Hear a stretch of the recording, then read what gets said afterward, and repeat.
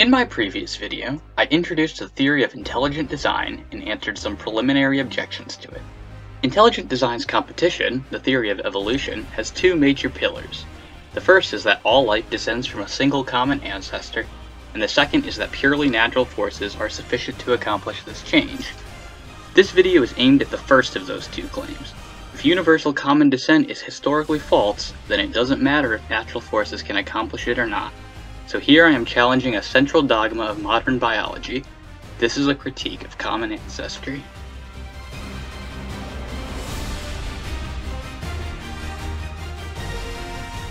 Before we begin, it should be noted that intelligent design is not necessarily incompatible with common descent.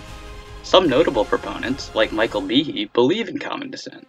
Therefore, even if common descent is true, that doesn't mean intelligent design is false. However, because the evidence for common descent is scant at best, many design theorists have come to doubt it. And if common descent is false, this certainly strengthens the case for intelligent design. Please note I will address the fossil record in a future video. Thus I will not discuss arguments for common descent based on the fossil record in this video. There are two primary views about the history of life on Earth. The first view is a monophyletic view. This view can be represented visually by a tree.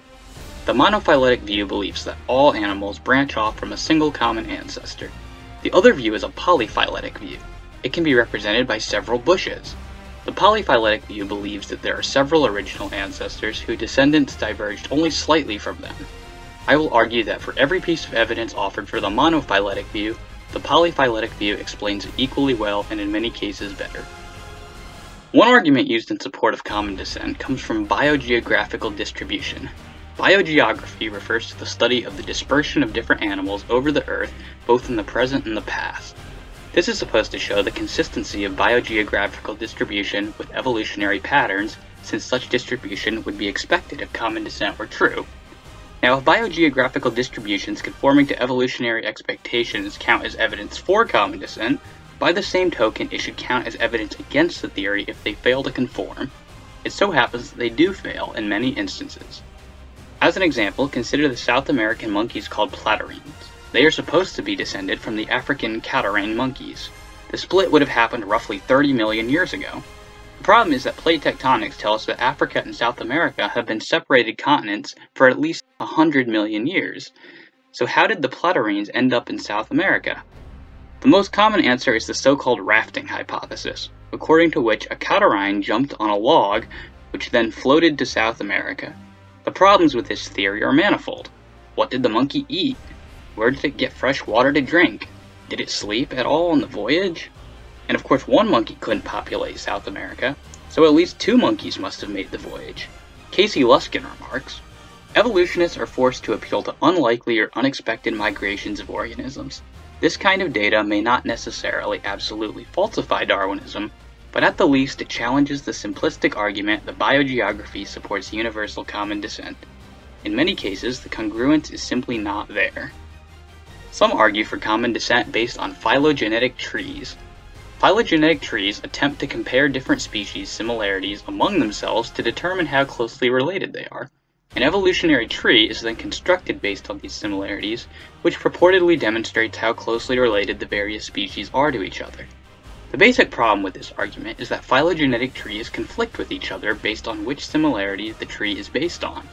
Trees based on similar nucleotide sequences contradict trees based on similar molecules, which contradict trees based on similar morphology. At best, this undermines that phylogenetic trees can be used to support evolution, and at worst, it's an argument against it. Jonathan Wells sums it up succinctly. Discrepancies in molecular phylogenies have convinced some scientists that the history of life cannot be represented by a single tree. The evidence for a common ancestor, a common trunk in other words, is missing.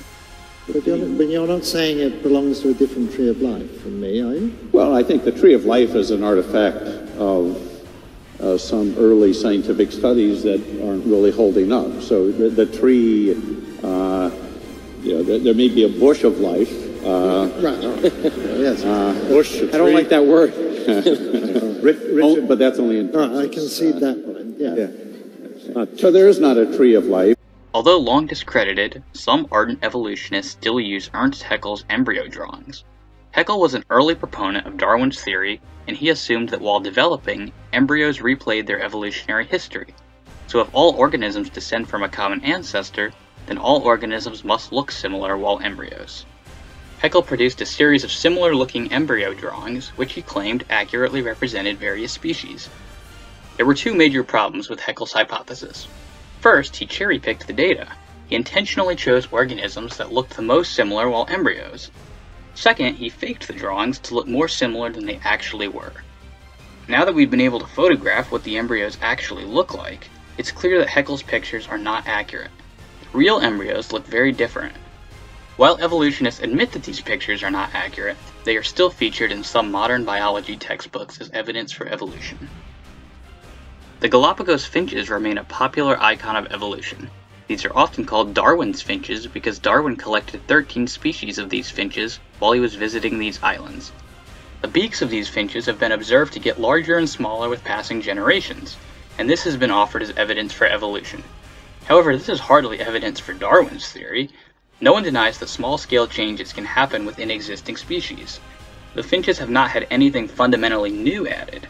All that has been observed is fluctuations, not Darwinian evolution. David Berlinski explains, It can easily be bounded variation of exactly the same sort as we see in any species experiment.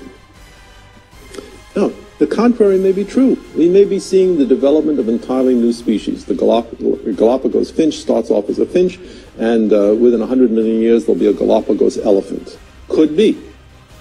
But we need a whole lot more by way of evidence than a couple of uh, nutty journalists going down there and looking at finch beaks and uh, writing a Pulitzer Prize winning book. A whole lot more of this is to be serious science. I mean, this doesn't even pass the threshold of anecdote. Finch beaks change in size. Yeah, they do. They change in shape too. It seems to be correlated with seasons. There seems to be a regress back toward the mean when the seasons change again. If this is the part of a spectacular evolutionary extrapolation, let's have additional reasons for thinking that. Perhaps you've seen a picture of a bat wing, a dolphin flipper, a horse's leg, and a human arm all side by side. The picture is intended to demonstrate that although the four appendages serve different purposes, they all have a common structure. These functional similarities are known as homologies. Darwinists point out that this common structure is easily explained by the theory of common ancestry. This is explained just as well by the theory of common design plan. Consider that there are many examples of where a common plan is used for different constructions by intelligent agents. Think of automobiles. Almost all automobiles have four wheels, an exhaust pipe, an engine, a steering wheel, and so on. These similarities are certainly not due to common ancestry. Indeed, evolutionary biologist Tim Berra tried to use automobiles as an example of descent with modification. However, this example backfired, since the cause of the change in these vehicles was intelligent design, Thus, this example actually served to undermine his point and so has become known as Berra's blunder. The fact of the matter is that intelligent beings use useful models and plans over and over again for different purposes. Thus, homologies are explained equally well by a common design plan as they are by common ancestry. According to Jonathan Wells, it is clear that there can be other explanations for a sequence of similarities besides descent with modification. In fact, most pre-Darwinian biologists would have explained such sequences by creation by design. A very popular argument for evolution is the claim that humans and chimps share 99% similarity in their DNA. The first thing to notice is that, at best, this only demonstrates that humans and chimps are related. This does nothing to demonstrate that all forms of life are related. However, it is not even true that humans and chimps have 99% DNA similarity. While loudly trumpeted by Darwinists as near conclusive proof of evolution a few years back, more recent studies have revealed that human and chimp DNA is closer to 97% similar, and some estimates are as low as 95%. Of course, some may argue that these numbers are still comparatively close. But when one considers just how vast the amount of information in the genome is, even 1% difference becomes a substantial amount, Additionally, the 97 to 95% similarities that exist are confined to the so-called bodybuilding section of the genome. Since chimps and humans do share a somewhat similar body structure, it shouldn't be all that surprising that they share a degree of similarity when it comes to their bodybuilding DNA. It's not even clear that more similar DNA indicates closer ancestry. Consider that a common mouse has some genes that are also 99% similar to humans, yet humans are not considered to be very closely related to mice. Fazale Rana and Hugh Ross say, the most comprehensive genetic comparisons indicate that humans and chimpanzees share a genetic similarity closer to about 85% than to 99%. From an evolutionary perspective, if a 99% similarity reflects a close evolutionary connection, then an 85% genetic similarity distances humans from chimpanzees. In his best-selling book The Language of God, Christian evolutionist Francis Collins argued that junk DNA provides powerful support for evolution. The vast majority of the human genome does not code for proteins, and so Collins assumed it was junk. Essentially, Collins argued that because most of the human genome is functionless, it makes no sense that God would create humans in their current form with so much useless DNA. But it makes sense if humans are a product of a long evolutionary history. The key assumption of Collins' argument is that there is in fact such a thing as junk DNA. However, thanks to the ENCODE project, we now know that at least 50% of our genome is functional, and perhaps as much as 80%. DNA does more than just code for proteins. It performs other crucial roles as well.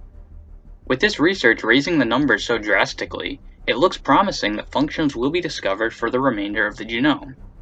As Jonathan Wells says, given the abundant and growing evidence for the functionality in non-protein coding DNA, it seems that recent defenders of the myth of junk DNA are motivated by something other than scientific evidence.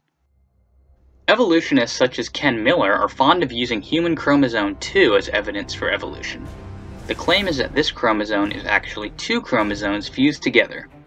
This would mean that at one time humans shared the same number of chromosomes as chimps, our supposed ancestors. It should be first pointed out that the evidence for this fusion event is less than convincing. Telomeric DNA at the ends of our chromosomes normally consists of thousands of repeats. However, human chromosome 2 contains much less telomeric DNA than we would expect if it really were two fused chromosomes. Human chromosome 2 contains only 158 repeats. Additionally, the telomeric repeats that do exist are highly degenerate, meaning that they have diverged a lot from their original state. This fusion event would have happened recently, and it's not likely that this much degeneration could have happened in so short a time. Lastly, telomeric DNA is somewhat common in mammalian chromosomes. Therefore, the telomeric DNA is not necessarily an indicator of a fusion event. Nonetheless, it is entirely possible that such a fusion event really did occur. But so what if it did? The event clearly happened after humans supposedly departed from their common ancestor, thus the fusion event itself tells us nothing since it is equally compatible with a monophyletic view of life as it is with a polyphyletic view. But if this fusion really happened, that means we once had the same number of chromosomes as chimps. Doesn't this indicate common ancestry? Not at all. As noted earlier, we share a substantial amount of DNA with chimps, so pointing out one other genetic similarity doesn't imply common descent. Why is it so inconceivable that a designer might design humans and chimps independently with the same number of chromosomes? This is a perfectly logical and rational position to hold. Casey Luskin sums this up well. Human chromosome number 2 is not evidence for human-ape common ancestry. At most, it shows our lineage experienced a chromosomal fusion event, but it does not tell us whether our lineage leads back to a common ancestor with apes. Finally, we come to the vitamin C pseudogene argument for common ancestry. Most animals, though not all, are able to synthesize their own vitamin C by means of four enzymes. However, humans and some other primates have only three of the required enzymes. It appears as though we once had this ability, but that the gene broke and that we carry the pseudogene to the present. Thus, we cannot synthesize our own vitamin C, and so must obtain it through our diet.